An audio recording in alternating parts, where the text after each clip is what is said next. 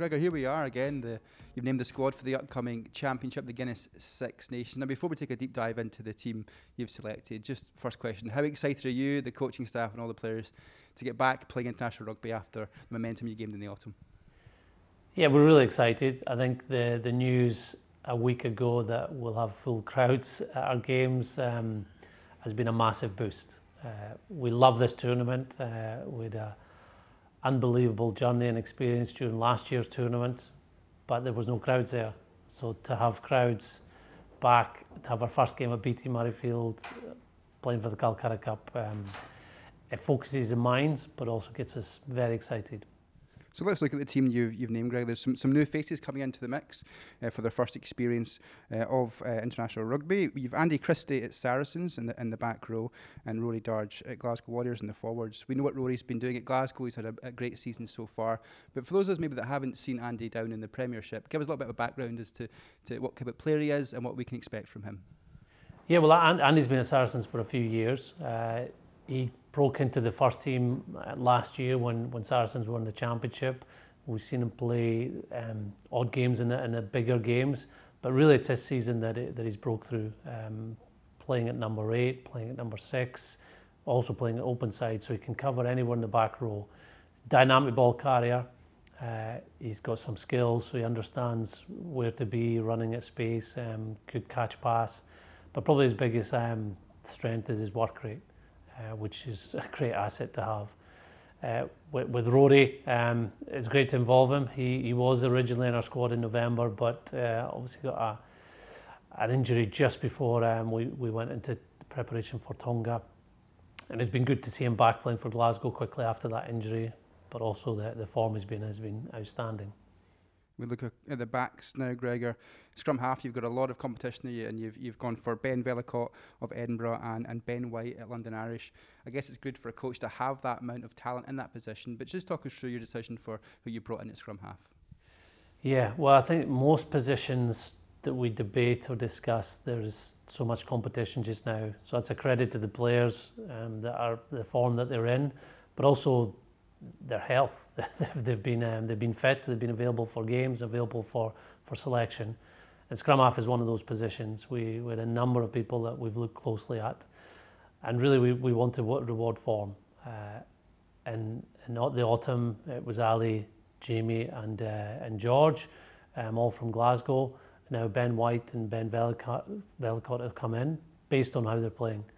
We feel that um, the form is a very good indicator of how you, you're going to approach your next game and the challenge of playing test match rugby, uh, the confidence that you can take that game, uh, but also the, the key position of, of nine having to manage a game. If you're getting regular game time, then that's going to help you play at test level. Ben White is a player that um, we, we've known has been Scottish qualified for, for a number of years. He was at Leicester from a very young age, um, didn't play that much for them over the last couple of seasons, but his move to London Irish has sort of rekindled his career. He's, he's been excellent down there. Uh, he's got an all-round game. Uh, the basics are, are very good. Um, he's, he's a tough competitor, likes to defend, but has also got a break and an eye for a gap, uh, which is certainly something Ben Vellacott's got. Uh, he has thrived in the Edinburgh environment, the rugby that Edinburgh are playing this season, uh, his initiative that he'll take, whether it's a quick tap penalty, taking on a gap, but also his work rate, his, his speed to, to get to um, the, the rucks and to be there and support uh, has been a, a massive factor in Edinburgh's success this season. Yeah, you mentioned Ben, he's at London Irish. Another player you brought in from London Irish is Kyle Rowe. Just tell us a little bit about Kyle. Yeah, well, Kyle's got a great, a great story. Um, just in terms of this year, uh, he, he was a player that, that played club level at Ayr, that, that played uh, Scotland Sevens. Um, didn't get the opportunities at a pro, pro, professional level. He did have one game for Edinburgh, which was the last game of the season down at Scarlets. And I remember watching that game and look at the performances of Kyle, others like Cam Hutchison who played well, and going, well, there's, there's some very good players coming through through our system that just need opportunities. Kyle had to go to, to London Irish to get that opportunity and played well in the pre-season, won his starting spot, uh, and has had some tremendous games. A hat trick against Saracens um, was probably the highlight, but just the consistency and how he gets involved um, in the game has, has been really pleasing.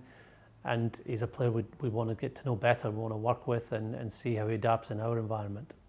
And Gregor, we see a number of players coming back into the mix after maybe a period of absence. Mark Bennett, Rory Hutchinson, uh, Magnus Bradbury. But one player in particular I want to uh, ask you about is Cam Redpath. He was involved almost a year ago to the day in that match away against England and then has unfortunately been, been injured and, and, and not featured. But how, how important and how grateful you to have somebody like Cam coming back in and the other players that I mentioned? Well, it's good timing um, for us and, and for Cam that he, he managed to get a game last weekend. Uh, a top level game playing La Rochelle away. He was playing at 10, so the challenge of coming back after eight, man, after eight months against a European finalist away from home and playing in a position you've not started at professional level before, uh, he handled it really well. Made, made a few breaks. We saw the, the, the strengths of his game come out um, and why he went so well down at Twickenham 12 months ago. But we also are aware that Cam hasn't played a, a lot of rugby, so um, we, we won't be rushing him back. Uh, he'll he'll have to show us at training and over the next two weeks for his for his team at Bath that he's able to, to go into the international environment again. We hope that's the case, but it, it might take a little bit longer. We've got a lot of competition at centre, so there's some very good players that have missed out. But also, it's been it's pleasing to to get Cam back in the squad. Mark Bennett and Rory Hutchinson, as, as you mentioned, two, two, two other players that have been in great form. Gregor, England up first, BT Murrayfield, their opening game with a full crowd. Does it get much better than that for you and everyone else involved? No. I think only if it was at the end of the, the championship playing for, playing for a trophy, but to, to start with a home game, to start with England, it's our biggest fixture, a biggest fixture for our supporters. We know what it, it means to our nation if, if we win that game, but uh, it's a huge challenge for our players. First game of the, the championship last year, and, and our players were very focused on, on delivering a, their best ever performance that day.